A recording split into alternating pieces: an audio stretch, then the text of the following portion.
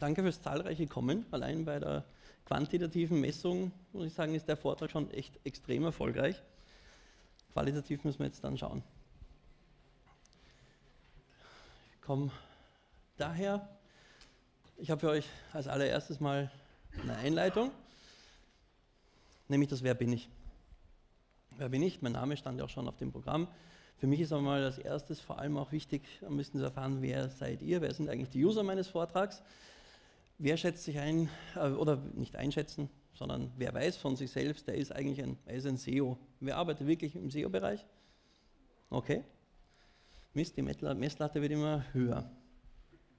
Wer hat viel mit Analytics zu tun und sagt eher schon wirklich advanced? Okay, perfekt. Ja, wer bin ich? Abgesehen von meine Nervosität steigt. Ich heiße Philipp Knoll, man findet mich auf Social Media Netzwerken.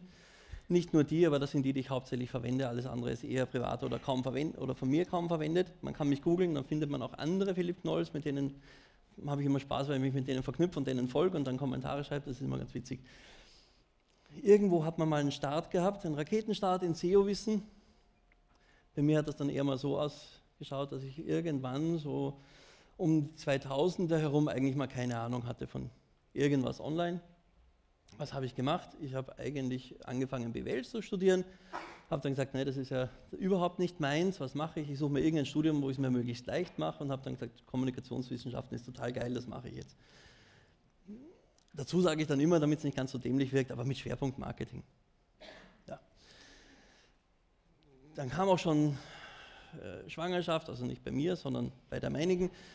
Ähm, Kind war da, Geld musste her, was kann man denn machen? Ich fotografiere sehr gern, ich habe damals meine erste Website programmiert, da war WordPress gerade in 1.0, ich kannte es noch nicht, habe mir deswegen den ganzen Kram angetan, mir PHP anzulesen, habe mir so Buch für Dummies gekauft und HTML, Buch für Dummies und JavaScript für Super Dummies, kann ich immer noch nicht so wirklich. Und ja, das war halt so mein, mein Start, habe dann Webseiten programmiert und dann ging es halt immer so, immer so weiter. Äh, war da mal eine Zeit lang in Wien für ein Stadtratbüro, so Online-PR, das heißt, ich kenne es auch eher von der, dann zum Teil auch von der nicht wirklich technischen Seite, nicht wirklich SEO, sondern so ein bisschen, machen wir halt mal was online. Wo man vielleicht noch nicht so ganz genau überlegt, was wir da machen oder was das eigentlich bezwecken soll. Aber planlos, man tut halt viel, weil das war noch dazu ein Wahlkampfjahr, da hat man halt auch Geld dafür. Dann kamen ein paar andere Stationen und jetzt bin ich das hier. Und für die da drüben, das bin ich auch. Kleiner Test, was ist das? Ein Head-of SEO. So.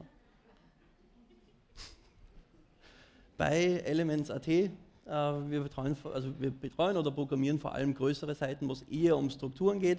Kollegen von mir haben sehr viele so Tourismusseiten, bei mir ist es ein bisschen mehr E-Commerce. Um, und damit sind wir bei Slide 9 von 122 und wir haben nicht mehr ganz 60 Minuten Zeit. Wenn wir von 60 Minuten ausgehen, dann ist es ein Durchschnitt von 2,3. Was ist mein Ziel als SEO? Was würdet ihr sagen, was ist das Ziel eines SEOs, mein Ziel als SEO oder euer Ziel als SEO? Mehr Sichtbarkeit? Mehr Umsatz. Umsatz ist cool. Sichtbarkeit wäre, ja, okay, müssten wir diskutieren. Mein Ziel als SEO ist einfach, meinen Kunden, egal wie die das definieren, mal zu mehr Erfolg verhelfen. Das sind bei meinen E-Commerce-Projekten, und die habe ich hauptsächlich, ist es der Umsatz. Im Endeffekt, die wollen Geld verdienen, weil kein, kaum jemand macht das einfach nur zum Spaß. Dann ist aber auch die Frage schon, wie definiert man diesen Erfolg? Erfolg definieren, da gibt es halt KPIs. Meistens schaut man sich halt die paar an oder als SEO schaut man sich vielleicht ein paar mehr an realistischerweise, ich habe Kunden gegenüber, weil ich komme von einer Agentur, die schauen sich halt die, Seite, die paar KPIs an, die man auf der Startseite bei Google Analytics sieht. Also nach dem Einloggen. Und dann reden wir halt ständig über Sitzungen und Nutzer, Seiteneröffnungsraten, Absprungraten, Verweildauern. Und dann kriegt man halt auch gerade wie vor, ich glaube, drei Wochen ist es ja eine Frage gestellt oder ein E-Mail zuerst, aber es wird dann nicht beantwortet um zu zeigen, hey, das ist jetzt vielleicht nicht so die wertigste Frage. Drei Wochen später hat man dann aber einen Termin, dann sitzt man dem Kunden gegenüber und sagt, ich habe dir doch ein Mail geschrieben, meine Absprungrate ja, Äh, wir hatten ja einen Relaunch vor eineinhalb Jahren und jetzt habe ich mir meine Absprungrate angeschaut und die ist jetzt um 3% höher. Wie muss ich das denn deuten? Ich bin dann da gesessen und probiere halt auch, genauso wie mit euch eigentlich ehrlich zu sein, habe ich mir erstmal gesagt, weiß ich nicht. Keine Ahnung. Zweiter Satz war dann eigentlich, ist mir auch eigentlich relativ egal, weil, was sagt man, das fangen wir mal mit den, mit den Zahlen eigentlich nichts an. Google Analytics gibt uns aber all diese Zahlen und gibt uns mehr, wenn man vielleicht sich Fragen stellt. Und die erste Frage muss mal sein, wozu brauche ich diese ganzen Daten? Natürlich ist es aber immer ein gewisses, ich kontrolliere mal etwas. Ich kontrolliere meine Website bezüglich Performance, ich kontrolliere meine Mitarbeiter, machen die eigentlich was für ihr Geld? Ich kontrolliere meine Agentur, machen die eigentlich was für ihr Geld? Wenn man jetzt euch, wenn ich, ich stelle mir jetzt vor, ihr werdet, ich soll ja nichts verkaufen, aber ihr werdet meine potenziellen Kunden, dann könntet ihr mich jetzt natürlich super kontrollieren. Das heißt, ich würde euch sehr ungern eigentlich Sachen auf, sagen, auf was ihr wirklich schauen solltet. Werbebudgets optimieren, das heißt, es soll eigentlich die Performance soll steigen mit möglichst immer sinkenden Kosten. Das ist übrigens eine Slide von meinem Kollegen. Wegen Copyright muss ich das jetzt auch dazufügen, der heute nicht mehr da ist, aber der diese Slide zusammengefügt hat. Eine These, wir wollen hochwertigen, qualitativen Traffic. Die Frage ist aber jetzt, woran messen wir das? Conversion. Was ist eine, was ist eine Conversion? Ich habe deswegen jetzt einfach mal die Definition an die Wand geworfen. Fangen wir damit jetzt groß was an. Fürs Fotolächeln. So. Äh, nein, also wir haben Ziele. Ich rede lieber von Zielen, weil Conversion ist dann meistens, der Kunde kauft irgendwas. Was ist aber mit einer Website, wo mein Kunde gar nichts kaufen kann? Sollte ich die offline nehmen? Braucht man die eigentlich überhaupt nicht? Habe ich dann keine Conversion? Kann ich sehr wohl Conversions haben? Deswegen rede ich mal lieber von Zielen. Was sind meine Website-Ziele?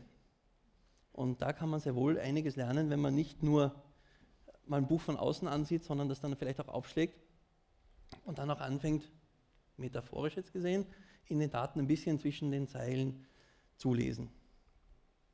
Damit ist Einleitung Ende. Ich weiß jetzt aber nicht, welches Slide das ist von den 122. Google Analytics für SEOs. Also ich habe probiert, was zusammenzustellen, weil ich ja nicht wusste, wer, was ist die Erwartungshaltung meiner Gäste, User, sondern 80 Prozent, meine, ist nur meine These, ihr könnt da völlig widersprechen. Ihr könnt es bei allen widersprechen, da müssen wir diskutieren. 80 Prozent meiner Kunden zumindest scheitern eigentlich nicht an irgendwelchen Raketenwissenschaften im SEO-Bereich, sondern immer eigentlich an demselben Mist. Und mir wird echt schon schwindelig, wenn ich wieder erzählen muss, was, was ist eine H1 und wie braucht man die und Title und Description und solche Dinge. Oder Absprungrate über eine ganze Website hinweg. Deswegen habe ich gesagt, ich stelle jetzt mal was zusammen, was irgendwie diese, die Basics, an denen oft gescheitert wird, auf Analytics angewendet, symbolisiert oder charakterisiert, was sind da Probleme und ein bisschen dann darüber hinausgehend, wo, äh, was könnte man jetzt dagegen tun? Wir fangen jetzt an bei Tipp 1. Das ist mal relativ basic SEO-Traffic identifizieren.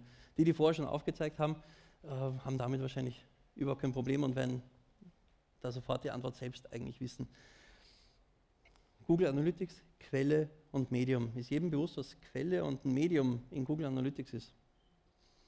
Ich hatte letztes Mal bei einem Vortrag, da ging es aber eher um SEO für Content-Redakteure äh, und nicht um Google Analytics, wirklich eine mutige im Publikum, die gesagt hat, äh, äh, weiß ich nicht.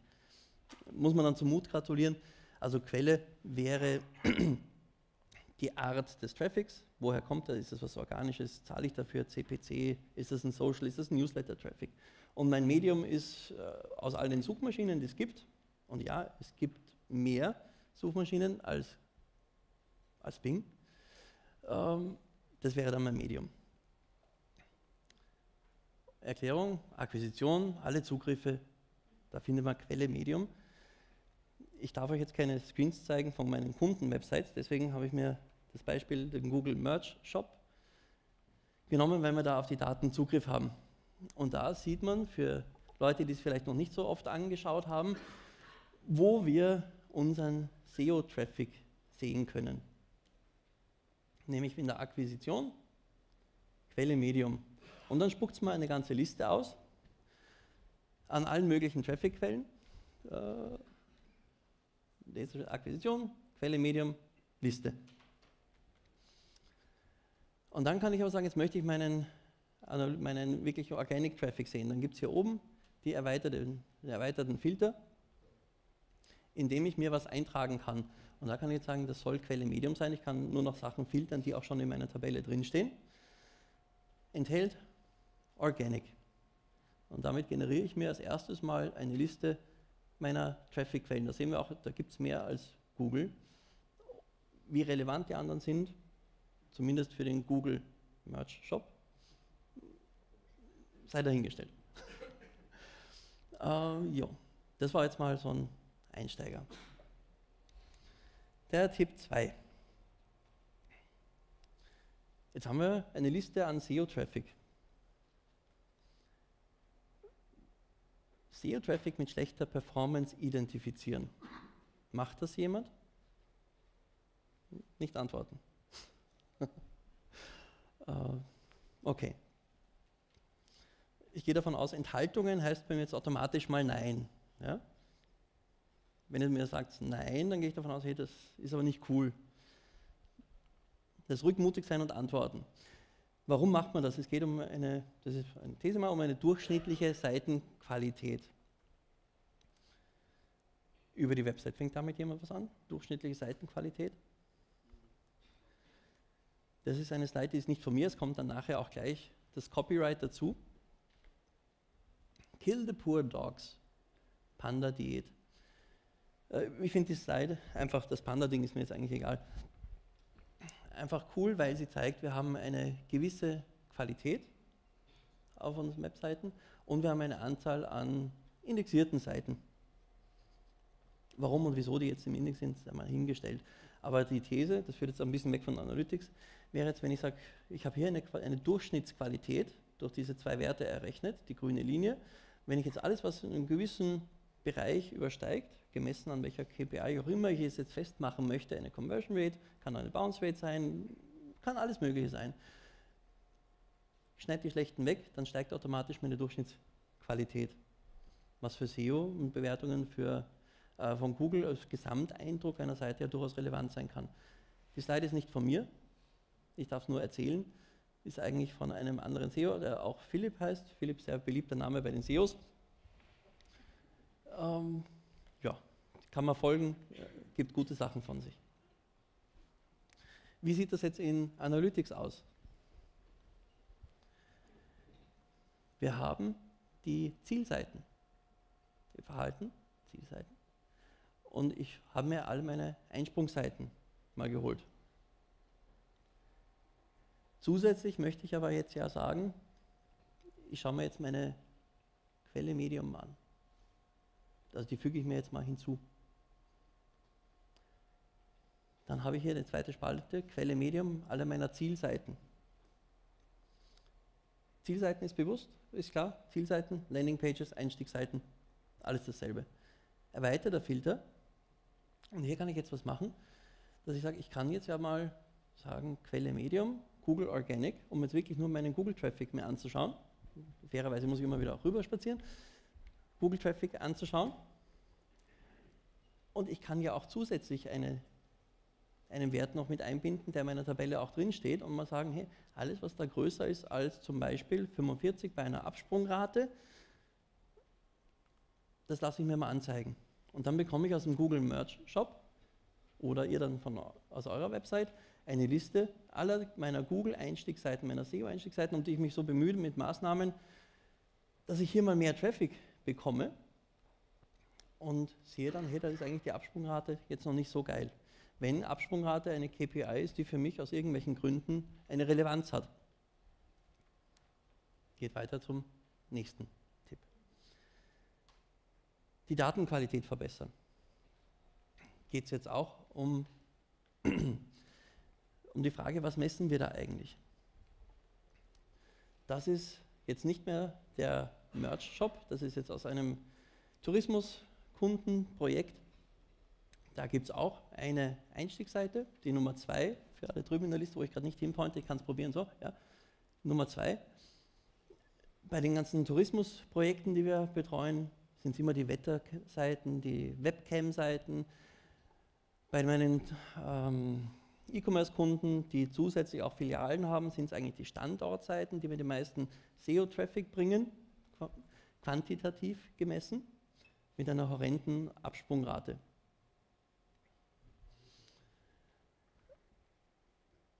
Stellt man sich die Frage, nämlich diese hier, nämlich nicht, was will der da, sondern was will denn der User, wenn er auf die Seite kommt? Und dann die Frage, haben wir das schon, wenn der wieder weggeht und wenn dann auch die Verweildauer vielleicht relativ gering ist? Haben wir ihn jetzt zufriedengestellt? Sind wir schlecht? Hat er sich was anderes erwartet? Möchte das von wem anderen bestätigt haben, vom zweiten Anbieter, dass wirklich die Sonne scheint? Oder eine bessere Livecam? Oder war das eine andere Art Livecam als erwartet? Das sind Fragen, die uns stellen. Oder messen wir vielleicht einfach nur nicht richtig? In welcher Weise würdet ihr jetzt vermuten, könnte es sein, dass wir vielleicht einfach mal nicht richtig messen. Was könnte man tun?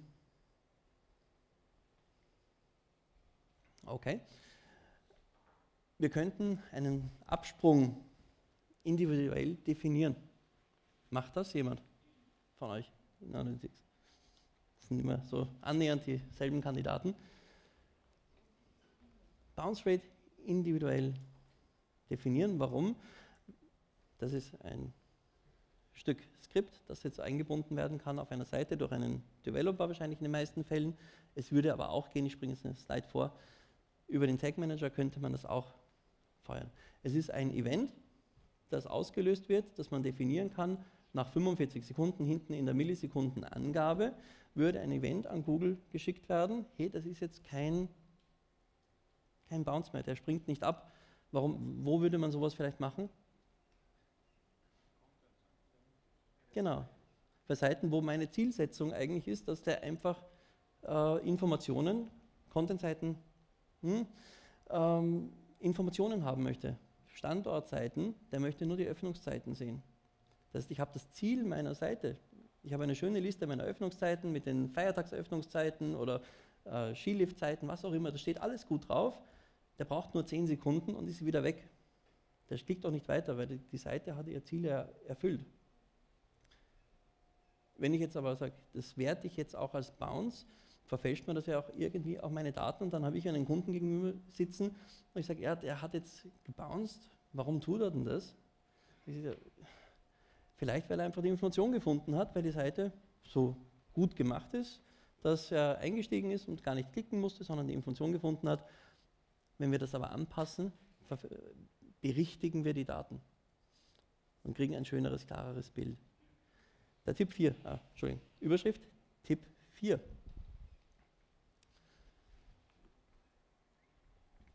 Wer sind denn meine User?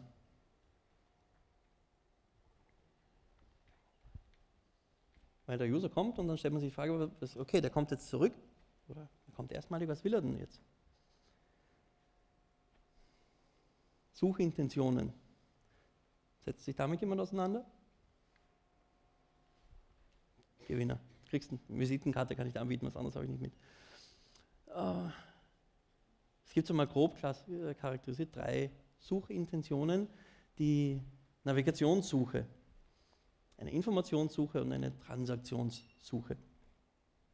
Ein Beispiel für eine typische Navigationssuche wäre, es gibt, verwendet einfach Google, jemand einfach, weil es die Startseite des Browsers ist, den man verwendet, man so faul ist, oben in die Leiste zu tippen, weil ich müsste meinen Cursor weiter rauf bewegen, sondern ich mache nur die Mitte des Bildschirms, klicke da rein, schreibe ORF rein oder schreibe was auch immer ich will rein, klicke auf Enter, mein Ergebnis steht normalerweise ganz oben und dann klicke ich da einfach drauf. Also ich brauche mir keine Gedanken machen über at.com oder was auch immer das sein soll. Eine Navigationssuche. Ich weiß schon, wo ich hin will. Eine Informationssuche wäre, ich brauche eine ganz konkrete Information. Ich weiß auch schon, welche Information ich brauche, gebe das bei Google ein und Google trachtet dann natürlich auch danach, mir Informationen jetzt nicht nur in Form von Links und geh mal dahin, die, die wissen das, sondern hey, Google weiß das ja auch selbst und stellt uns da auch was zur Verfügung. Eine Informationssuche. Eine Transaktionssuche wäre, ich suche zum Beispiel ein Produkt, ich möchte was kaufen, ich habe eine klare Intention, ich möchte mich wo anmelden, ich möchte was auch immer. Dann haben wir hier ein Beispiel für eine Informationssuche. Ich möchte Beton selber mischen, extra ein sehr maskulines Beispiel genommen von einem Baumarkt. Auf derselben Seite, das ist ähnlich wie ein, das ist kein Kunde von mir, das ist einfach nur irgendwas, was man halt im Internet findet. Auf derselben Seite gibt es aber auch so eine Seite, parallel, wirklich pendant zu dem, was ich auch als Kunden betreue, eine Standortseite, die einfach nur Informationen darstellt, die aber durchaus sehr relevant sind. Kann ich nach meiner Arbeit noch vorbeifahren? Haben die dann noch offen? Haben die am Feiertag offen?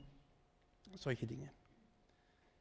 In den Daten bei Google Analytics vermixen wir das aber alles. Das heißt, wir haben URLs mit völlig verschiedenen Intentionen. Die Daten kommen alle rein und wir schauen uns, wenn wir noch nicht sehr viel weiter schauen, auf sämtlichen KPIs eigentlich einen Mix an verschiedenen Intentionen an, die sich naturgemäß ja eigentlich ganz verschieden verhalten müssen und tun so, als wäre das aber alles eins. Jetzt ist die Frage, die, die man sich dann stellt, okay, was können wir da tun? Wie kriegen wir das irgendwie denn äh, besser hin? Jemand Ideen dazu, was man machen kann?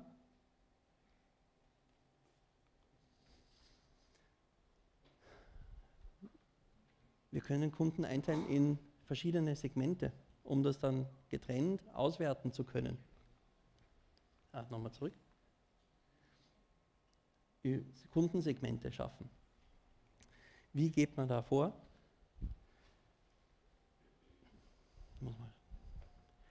Also über die Einstellungen, nochmal zurück, können wir Segmente bilden, geben dem Ganzen einen Namen und geben ein paar Daten ein, die wir haben wollen und sagen, ich möchte jetzt meinen SEO-Traffic, weil als SEO in einer Agentur der andere Traffic, okay, das müssen Sie sich selber auswerten.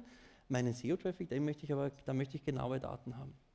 Das heißt, ich sage jetzt mal alles, was organic ist und von Google kommt, weil das Merch-Shop-Beispiel, die anderen schaue ich vielleicht gar nicht drauf. Zusätzlich, das ist jetzt nur ein Beispiel, die Liste kann man dann fortsetzen, würde ich jetzt sagen, ich mache mir ein Segment mit all meinen Service-Seiten oder all meinen Standortseiten, dann wäre das mein Segment äh, Organic Standort Traffic. Füge das hinzu und erlaube mir somit später dieses Segment getrennt anzuschauen, kann natürlich auch das Gegensegment dann bauen und sage, jetzt habe ich meine Standortseiten und ich habe vielleicht nur Standorte und ich habe Product Grids und einzelne Produkte, also meinen Shop und dann mache ich meinen Shop-Segment auch noch. Dann nehme ich dann, mache ich Umkehrschluss, dann nehme ich alles aus, was Standortseiten sind, um das, den Gegenpart auch zu haben. Und erlaube mir somit ein klares Bild, das einer User-Intention entsprechen kann, auch darzustellen in meinen Daten. Jetzt die Frage, hat, arbeitet jemand mit sowas? Okay. Kommen wir zum Tipp Nummer 5. Da geht es jetzt um die Quelle. Wie finde ich raus, wo mein Traffic eigentlich herkommt? Das ist jetzt wieder relativ easy. Akquisition, Übersicht. Da finde ich einfach mal meine Traffic-Kanäle. Die können kommen von Google, die können kommen von anderen Suchmaschinen. Da gibt es ja dann durchaus ein paar. So schaut Yahoo aus, wenn man über Alta Vista einsteigt. Das war mal meine erste Suchmaschine, deswegen schaue ich sowas ganz gern. Aber dann gibt es auch andere Sachen wie Ask. Es gibt eine T-Online-Suche. Und dann ist die Frage, Referral. Viele von diesen Sachen findet man im Referral-Traffic. Ein Tipp ist auch, man kann auch da eine Bereinigung durchführen, weil jemand, der über die T-Online-Suche kommt, der ist ja auch eigentlich ein Suchtraffic.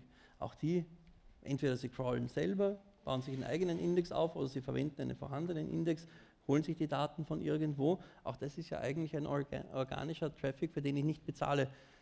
Da kann ich jetzt Google sagen, hey, das ist ja eigentlich, das passt jetzt eigentlich nicht so ganz ins Referral-Thema hinein. Wo kann ich denn sowas tun? Wieder hier, das ist leider nicht so ganz zu sehen, über die Verwaltung, Tracking-Informationen. Quellen der organischen Suche anklicken. Und hier kann ich Suchmaschinen hinzufügen und sagen, hey, das möchte ich und das ist natürlich mein, Selbst, mein Eigeninteresse als SEO. Wenn ich schon organischen Traffic wo habe, dann möchte ich den natürlich auch so ausgewiesen bekommen und nicht sagen, hey, das ist jetzt irgendwo Referral und der Traffic ist mir egal, weil auch dort könnte ja vielleicht eine Conversion passieren, in welcher Art wir das auch definieren. Ich habe jetzt mal Ask eingegeben als Beispiel. Hier drüben wieder. Kann ich sagen, ich definiere mir meine Suchmaschine mit der Domain, gebe noch den Query-Parameter ein, in dem, den ich rausfinde, wenn ich einfach irgendeine Suche starte und in, der, in, den Parametern der URL nachschaue, was das denn ist und sage einfach mal, ich glaube erstellen steht, füge erstellen hinzu und plötzlich habe ich meinen habe ich Traffic-Quellen, die vorher irgendwo anders waren, zugewiesen und sage, hey, das ist ja eigentlich zum Teil ja auch meine Leistung als SEO. Tipp Nummer 6. Ein bisschen auf die Uhr schauen. Okay. Die User-Intention. Wir, was wollten wir? Was haben, was haben wir als Website-Betreiber? Wir haben ein Ziel. In den meisten Fällen sind die Webseiten aber eigentlich so, dass wir sagen, wir haben ganz, ganz viele verschiedene Ziele, weil die Website ist ja so ein All, das eigentlich alles kann und alles können soll. Das heißt, wir haben ganz viele verschiedene Ziele auf unserer Website. Das heißt, wir müssen Ziel definieren. Nicht nur das Wort Ziel, sondern auch ein Ziel eigentlich auf URL-Basis definieren. Was möchte ich mit dieser URL, wenn User darauf einsteigen über meinen Organic Traffic, was soll die eigentlich tun? Soll die direkt konvertieren? Sollen User sich da länger auseinandersetzen? Sollen die da lesen? Sollen die da runterscrollen? Sollen die ein Video anschauen? Sollen die einfach nur weiterklicken? Also das, die Zielseite ist nämlich deswegen nicht nur, weil ich euch nötigen wollte, das zu lesen, was ein Ziel ist, sondern das ist einfach eine Infoseite. Da wäre ein Ziel, hey, die Leute sollen sich damit auseinandersetzen, die sollen das lesen, die sollen da bleiben, sollen auch mal wiederkommen und beim nächsten Mal, wenn sie was wissen wollen, wieder zu Wikipedia gehen. Konträr dazu gibt es aber auch Shopseiten, die völlig anders geartet sind. Und dann gibt es aber vielleicht auch noch sowas, das ist jetzt, geht ein bisschen weg vom SEO. Auf so, äh, Facebook finde ich dann immer wieder, consulting.com sponsert mir da was und lädt mich ein, Webinare zu besuchen. Wenn man dann klickt, kommt man auf so eine Seite. Das ist jetzt eine, einfach nur eine Re Registrierung für irgendwas. Das kann aber auch sein, dass ich sage, ich habe eine Website und ich, ich zweckentfremde ein, quasi ein Kontaktformular, einfach nur um Anmeldungen zu generieren, um irgendwie Daten zu sammeln. Abgesehen davon, dass das wahrscheinlich in Kürze schwieriger werden wird. Ein mathematisches Beispiel. Ähm, selbst mit Kindern, also es ist eher so ein mittlere Volksschule-Beispiel. 1000 Leute registrieren sich da. Wenn 10% kaufen mein Produkt zu einem Preis von 49,90, dann kann ich mir den Durchschnittswert der Registrierung ausrechnen. Und dann kann ich dem der Registrierung ja auch einen monetären Wert nämlich zuweisen. Und das kann ich auch in Google Analytics. Macht, arbeitet jemand mit sowas? Abgesehen davon von E-Commerce Tracking?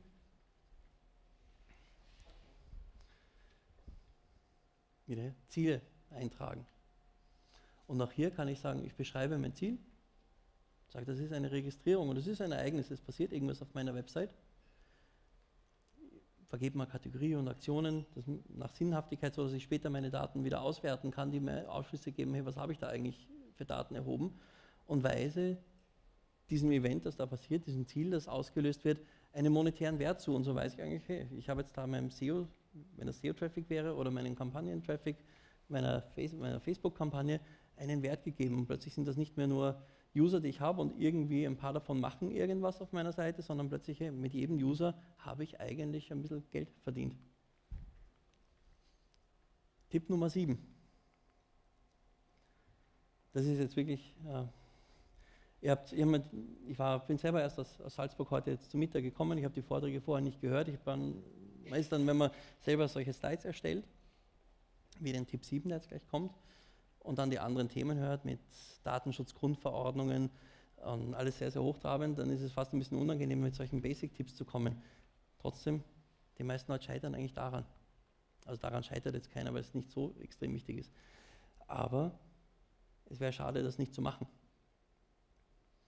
Wir haben eine Traffic-Kurve irgendwie auch und plötzlich ist da sowas. Was, was, könnte das sein? Eine Presseaussendung, ein neuer Produktstart. Es ist irgendwas passiert, was mit mir zu tun hat. Äh, ich bin in Air Berlin, mein Flugzeug ist abgestürzt. Oh, nicht so gut. Aber es gibt sicher auch positive Beispiele. Ähm, meistens erinnere ich mich nicht mehr dran, was eigentlich da ist. Wenn ich meine, mit meinen Kunden rede, auch die wissen eigentlich nachträglich nie, was sie da eigentlich gemacht haben. Das, irgendwie, das zieht sich durch wie ein Faden, weil sie haben einfach viel zu tun. Sie sind auch wenige Leute. Es passiert halt ganz, ganz viel. Sie arbeiten mit verschiedenen Agenturen zusammen. Jeder macht irgendwas. Man redet auch relativ wenig dann miteinander. Und dann passiert irgendwas und keiner weiß mehr eigentlich genau, äh, was war denn das jetzt?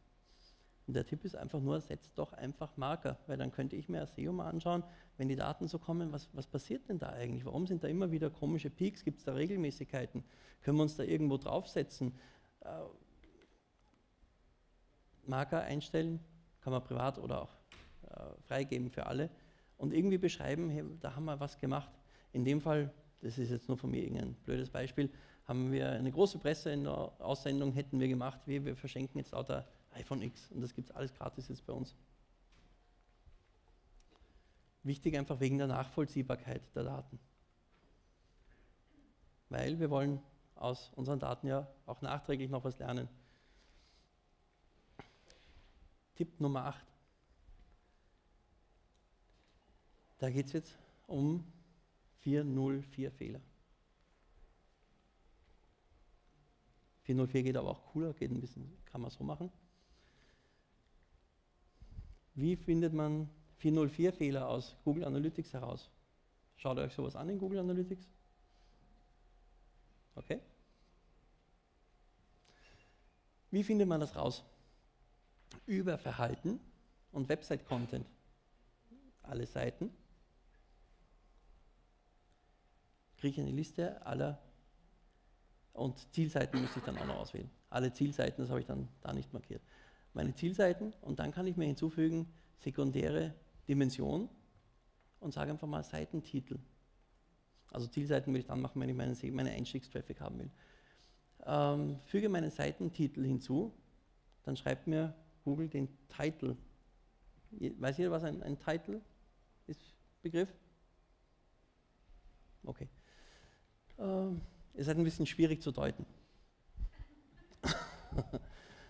ähm, ja, also Google schreibt mir dann den Titel hin. Dann muss ich natürlich wissen, was der Titel, äh, nicht sehr treffsicher, der Titel meiner 404-Seite ist. Wo findet man das raus?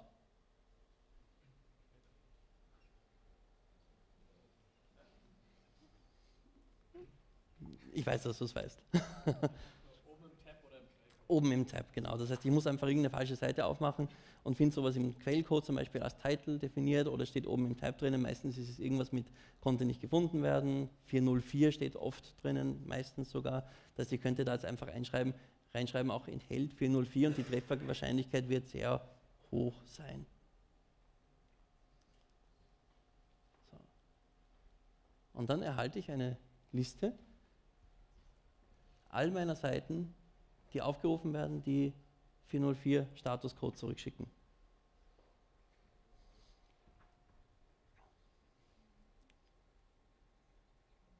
Tipp Nummer 9 geht auch wieder um, es sucht jemand was. Google, aber es gibt ja auch andere Suchen. Im SEO-Bereich, vor allem wenn man anderen Keynote-Speakern bei Konferenzen zuhört, da gehört man dann besonders bei einem immer wieder das Wort alternative Suchmaschinen. Also auch solche Sachen sind ja eigentlich Suchmaschinen, Produktsuchmaschinen. Andere Suchmaschine, Unterkunftssuchmaschine. Aber auch auf unseren eigenen Seiten wird ja sehr wohl gesucht. Wenn ich sage, ich bin jetzt nämlich vielleicht die, dieses Business hier oder ich wäre sogar dieses Business hier, abgesehen davon, dass ich mich echt freuen würde, wenn das mein Business wäre, aber auch der Obi hat ein Suchformular. Und auch aus der Suche kann man ja eigentlich was lernen. Und entweder man hat es jetzt als System so, dass man sagt, in meinem Managementsystem, in meinem CMS stehen auch drinnen, was da gesucht wird. Ich habe eine intelligente Suchsoftware mir vielleicht angeschafft oder programmieren lassen. Wenn nicht, oder zusätzlich kann ich mir diese Sachen auch in Google Analytics ausgeben lassen. Ich frage schon gar nicht mehr, wer es macht, weil drei Leute wahrscheinlich hm, hm, und machen das. So, wie, wie könnten wir das tun? Wieder über die Verwaltung, Einstellungen der Datenansicht. Da gibt es hier Site Search Tracking. Das kann man einschalten. Dann muss man sich wieder selber mal eine Suche anschauen, wie die eigentlich technisch funktioniert auf der eigenen Seite. Was ist denn der Suchparameter, der nach dem Fragezeichen in der URL steht? Den müsste man dann hier eintragen und dann erhält man eine Liste der Keywords, der Suchanfragen, die Leute auf seiner eigenen Website eingeben in Google Analytics. Wir waren jetzt äh, relativ schnell. Wir haben den Durchschnitt weit gesprengt. Wahrscheinlich bei 3,4 Slides. Weil im Grunde genommen waren das die neuen Tipps. Jetzt haben wir dementsprechend mehr Zeit für Fragen, hauptsächlich zum Thema SEO. Ich sage jetzt mal so, hoffentlich war bei den Tipps jetzt mal was für euch dabei. Sonst gibt es von mir mal ein Dankeschön und Fragen von euch hoffentlich.